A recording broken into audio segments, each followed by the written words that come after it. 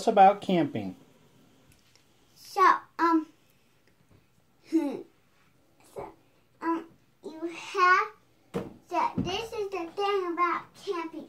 You have to hunt for food, cause that's what you get for camping, cause you don't get fresh fruit. That's what you get, and, and that's what you get, because you can't, you can't, you can't just, you can't just get fast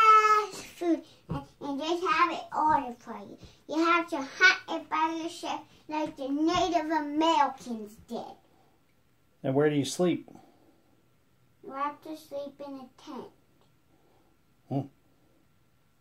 And that's what you get. Because if you don't want to go camping at Girl Scouts, then, then, then, then, you, then you might not want to, you might not want to camp out. So, so, so that that's what you get.